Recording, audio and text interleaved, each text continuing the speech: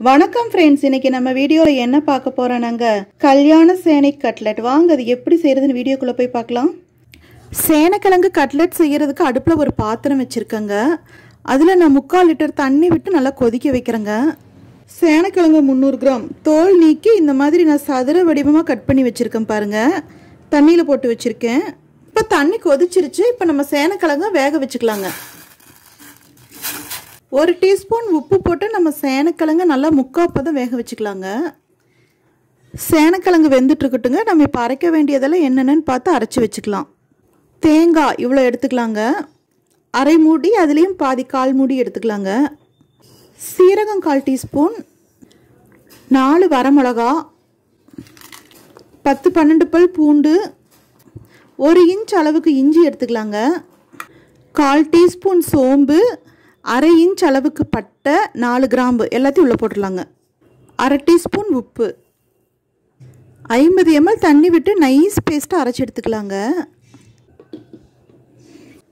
பாருங்க இந்த மாதிரி நம்ம நைஸ் பேஸ்ட்டாக அரைச்சி எடுத்துட்டோம்.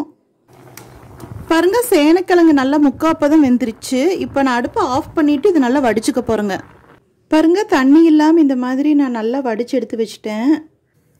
அடுப்பில் ஒரு கடாய் வச்சுருக்கேங்க. அதில் வந்து சேனக்கிழங்கு பொறிக்கிற அளவுக்கு எண்ணெய் விட்டுருக்கேங்க. எண்ணெய் இப்போ சூடாயிட்ருக்கு. எண்ணெய் சூடாயிருச்சுங்க.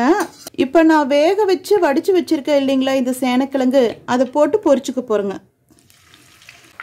ரொம்ப மொறு மொறுன்னு ரோஸ்ட் ஆகிற அளவுக்கு பொறிக்கக்கூடாதுங்க அதுக்கு முந்தின ஸ்டேஜ்லேயே நம்ம எடுத்துடணும்.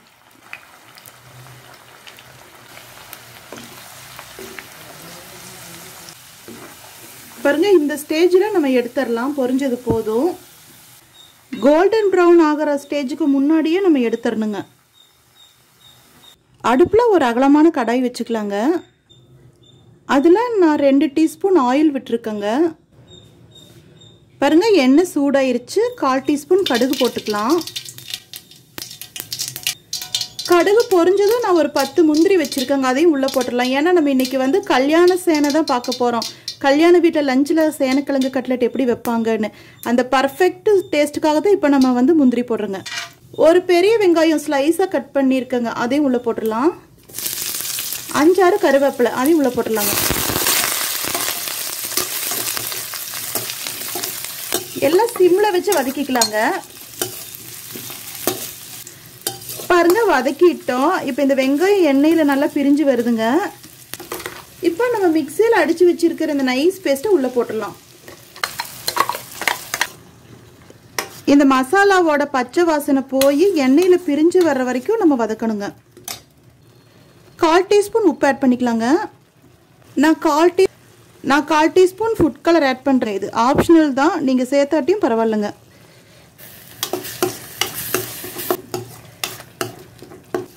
அடி நம்ம கலந்து விட்டுட்டே இருக்கணுங்க.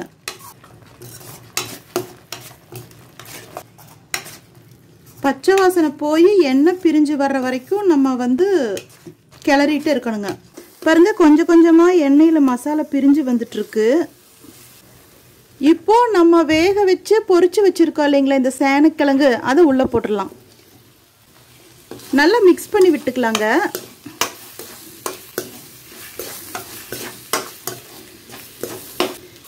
இந்த சேனக்கிழங்கு கட்லெட் பார்த்தீங்கன்னா தயிர் சாதத்துக்கு நல்ல செமையான ஒரு சைட் டிஷ்ஷுங்க பாருங்க மசாலா கலவையை நல்லா கலந்து விட்டுட்டோம்.